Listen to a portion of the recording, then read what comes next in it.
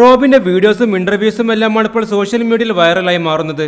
Robin പുറത്തായതോടെ big Boss ഷോക്ക് ചെറിയ രീതിയിലുള്ള ടി ആർ പി റേറ്റിംഗും കുറഞ്ഞിട്ടുണ്ട്.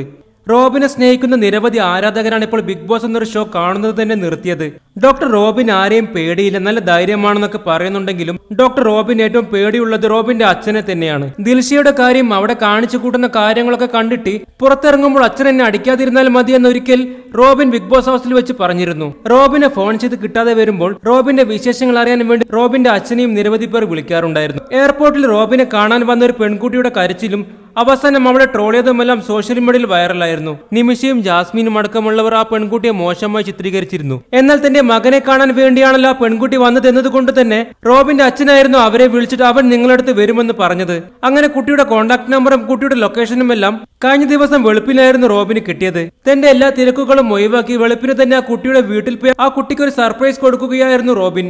റോബിന്റെ കൂടെ റോബിന്റെ അച്ഛനും ഇപ്പോൾ സോഷ്യൽ മീഡിയയിലൂടെ ശ്രദ്ധേയമാവുകയാണ്. ആ അച്ഛൻ ആ മകനെ അങ്ങനെയാണ് ആ അച്ഛൻ ആ മകനെ അങ്ങനെയാണ് വളർത്തിയത്.